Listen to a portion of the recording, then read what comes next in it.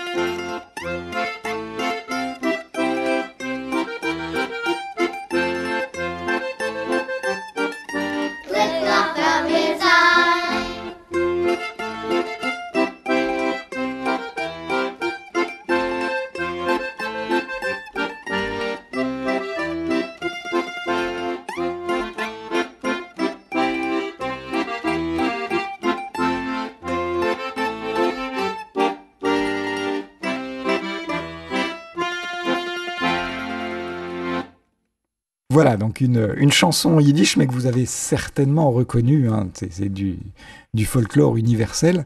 Alors, euh, Marthe... Dans ma maison à Grand-Serre, et donc c'est une, une, traduction yiddish de Paula Teitelbaum, qui est une, une yiddishiste euh, américaine qui a fait ça il y a, une quinzaine d'années.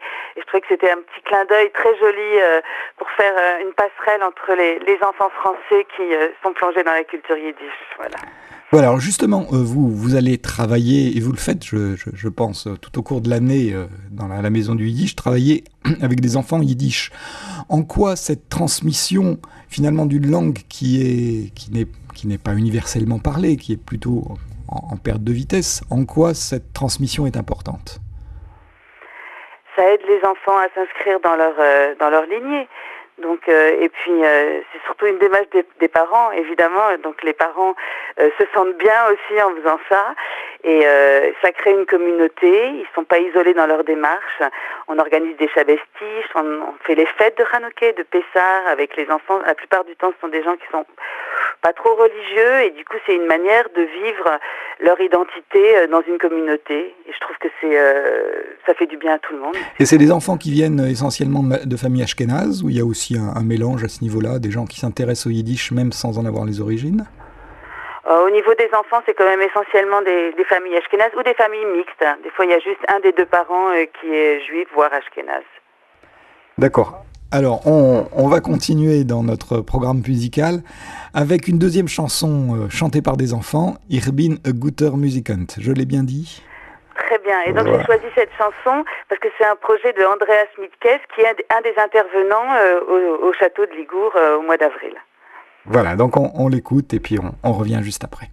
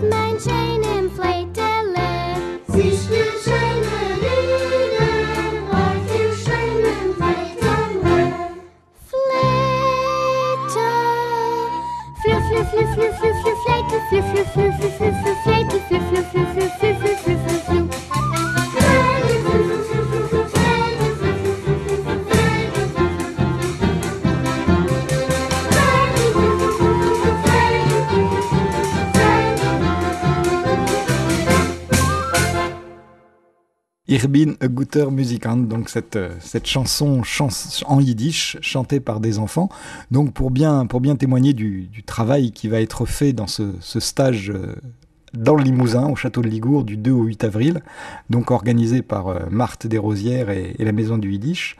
Alors, il va y avoir du travail avec les enfants, mais pas seulement, il y a aussi de la place pour de la musique et de la danse. Tout à fait, Donc nous avons un programme aussi euh, avec Andreas Mitet, que je viens de citer, qui est un des grands maîtres de danse euh, international au niveau de la danse klezmer. Donc on a la chance de travailler avec lui là pour la troisième année et c'est un bonheur parce que c'est vraiment un expert euh, en toutes les formes de danse. Il sait aussi tout à fait s'adapter aux enfants. Donc il il, nous permet de, danser en famille et euh, c'est un vrai bonheur de, travailler avec lui. Alors on va, on va écouter un, troisième morceau, c'est un morceau qui, qui vient de sortir, un album dont j'ai déjà parlé à cette antenne de Eleanor Biazunski qui s'appelle Yerushe, Les Racines. Pourquoi vous avez choisi ce, morceau-là pour illustrer cette, cette partie? Pour deux raisons, Edmond. D'abord parce qu'Eleonore, on a la chance qu'elle vienne de New York spécialement euh, pour participer à ce stage parce que c'est un projet qui lui tient beaucoup à cœur. Ça fait aussi la troisième année qu'elle vient, Éléonore. Et, euh, et du coup, je voulais euh, faire entendre son travail. Et puis, euh, on est complètement dans, dans le thème parce qu'en fait, on a une petite chorégraphie avec cette chanson euh, avec les enfants. et du coup, je me disais, il y avait deux bonnes raisons pour, pour passer cette chanson aujourd'hui. Voilà, alors je rappelle, Éléonore, elle est violoniste, elle est chanteuse, et puis effectivement, elle elle, euh, elle fait la promotion de la, de la culture yiddish aussi à travers tout son travail. Et elle est effectivement en ce moment installée aux États-Unis. Et donc, euh, la voir euh, en France pour ce stage-là, ça sera un plus. Alors, on écoute Meideler und Weibeler. Bravo, Edmond.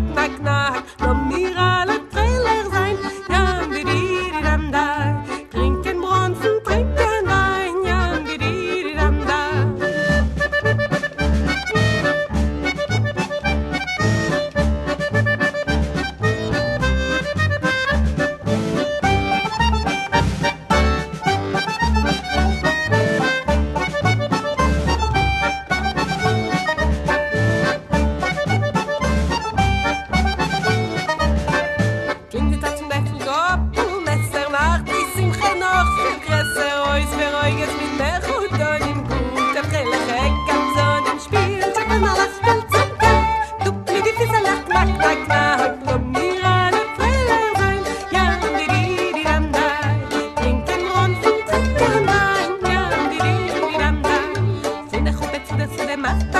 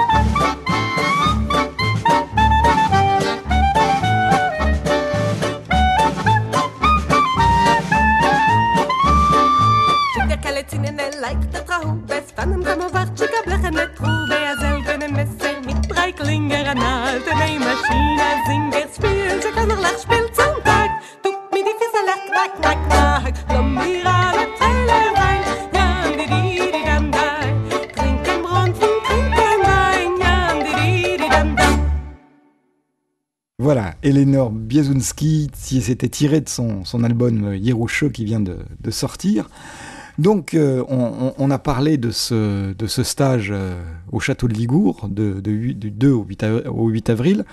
Euh, il y a aussi tout un, travail que vous faites tout au cours de l'année au sein de la, maison du Yiddish sur justement la, la promotion de la danse, de, la musique klezmer et donc de la culture yiddish à titre général. Oui, tout à fait. Je m'occupe aussi de l'atelier euh, de musique klezmer. Euh, notre ensemble s'appelle les Klezmer Himmler. Donc c'est un ensemble de, musiciens amateurs. Euh, c'est une trentaine de musiciens de tout niveau, des, musiciens amateurs, donc pour, comme je viens de dire pour la plupart. Et on travaille un répertoire pour faire danser. Là, on organise un grand bal pour Pourim. Et dans le château, évidemment, on aura aussi notre orchestre et on dansera au son de l'orchestre. Euh, et euh, donc c'est très important de jamais dissocier le travail musical du travail de danse. Euh, tout ça, c'est une même histoire. On le, les, ces musiques klezmer étaient originellement des musiques pour faire danser avant tout. Alors d'où est-ce que comment est-ce qu'on les a qu'on les a recueillis ou comment est-ce qu'on les a retrouvés ces danses klezmer? Parce qu'a priori c'est quelque chose qui est relativement récent, en tout cas à ma connaissance. Bah ça c'est grâce au travail de, de nos, notamment euh, Zev Fellman, qui est un, un grand euh, spécialiste des danses klezmer, qui a fait tout un travail ethnographique pour retrouver euh, les racines dans les écrits et tout ça de, de toutes ces danses. Et c'est en train de remonter à la surface, euh, à notre grand plaisir à tous. Mais c'est assez récent, en effet. Vous avez raison, ça fait que 20-30 ans qu'on se replonge dans, dans, tout ça, alors que la musique klezmer, ça fait maintenant euh, quand même plus longtemps, depuis au moins 50-60 ans, quoi. Voilà. Eh ben, on va écouter un morceau pour danser. Donc, euh, nos auditeurs sur RJL, si, si vous voulez vous y mettre, euh, c'est le moment. Lebedi Kunfrelach, c'est alors c'est un vieux morceau, un morceau des années des années 20 de, de l'orchestre d'Abbé Schwartz, et on écoute ça.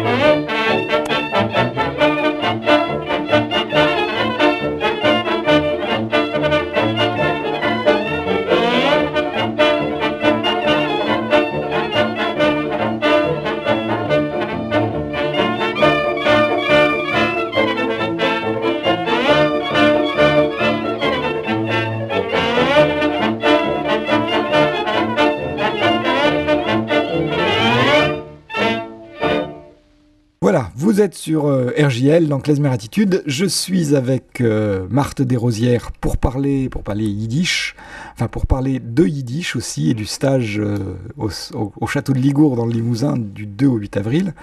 Alors, on parle de yiddish. Vous allez aussi dans ce stage apprendre le yiddish ou en tout cas le, faire vivre? Nous avons la chance d'avoir une grande traductrice, Batia Baum, qui travaille aussi à la Maison de la Culture Yiddish et qui vient au stage cette année et donc elle, elle donnera des cours de yiddish, elle fera des lectures de poésie euh, en yiddish et les traductions. Donc on veut vraiment que la langue ne soit pas dissociée de la musique, de la danse, et qu'il y ait vraiment une ambiance bilingue, quoi, que le yiddish soit présent euh, en permanence. Alors, les, que les, enfants ressortent de là avec des petits mots de yiddish euh, et que, que ça soit naturel pour eux. Quoi. Les gens qui viennent dans ces, dans ces stages-là, ils, ont besoin de, de connaître la, la culture yiddish pour se sentir à l'aise? Ils ont besoin d'avoir envie de la découvrir s'ils ne la connaissent pas. Évidemment, c'est ouvert à tous. Voilà, donc c'est ouvert à tous, juifs et non juifs, euh, ashkénazes et séfarades. Il n'y a pas d'ostracisme ou de... Bien sûr, il faut juste avoir le, le, désir de partager tout ça. Voilà, en tout cas, euh, enfin moi je le recommande parce que je l'ai fait une fois et, et c'est vrai que l'état d'esprit est, est, très ouvert. Et, on partage beaucoup autour de la musique parce que c'est un, bon, un bon ciment, je crois. Euh, la, musique, un bon ciment pour, euh, pour compléter la, la, découverte de tout cet univers culturel. Donc on va finir euh, l'émission déjà avec un, dernier morceau d'Abbé Schwartz aussi, National Aura. Quelques mots à dire là-dessus, Marthe? Oh bah, j'ai choisi ce titre parce qu'on entend yiddish, donc euh, vous m'avez fait un, un, tapis rouge en me posant des questions sur le yiddish avant et Donc c'était pour montrer que voilà c'était indissociable. Donc c'est effectivement indissociable de la musique et de la culture, c'est tout un, tout un ensemble qu'on redécouvre notamment grâce à la, à la Maison du Yiddish à, Paris qui, qui, fait un travail extraordinaire autour de ça. Et donc, euh, je rappelle le, le, stage au château de Ligour dans le Limousin du 2 au 8 avril. Pour s'inscrire, c'est comment? Donc, pour toutes les informations et inscriptions, vous pouvez appeler le 01 47 00 14 00. Je répète, 01 47 00 14 00. Ou bien sur le site de la Maison de la Culture Yiddish au www yiddishweb.com, euh, yiddishweb avec deux D. Voilà. Voilà, vous savez tout, vous n'avez plus d'excuses pour ne pas aller vous y inscrire. En tout cas, merci beaucoup Marthe, c'était intéressant. Merci beaucoup Edmond, à et à bientôt, j'espère au château. Voilà. Euh, voilà, le mot de la fin est dit. Je termine quand même en rappelant ce dernier morceau qu'on appelle Abbé Schwartz et en vous donnant rendez-vous à la semaine prochaine. Er ist doch ein Schwarzenbrüder, und man hat so zufrieden gestellt mit dem ersten Stickerle. als kommt der Bogen, wenn so spielen, hat es noch ein Stückchen. Och, verbrüß mich, mit dem schönsten Vergnügen, was spiel ich schon. Musik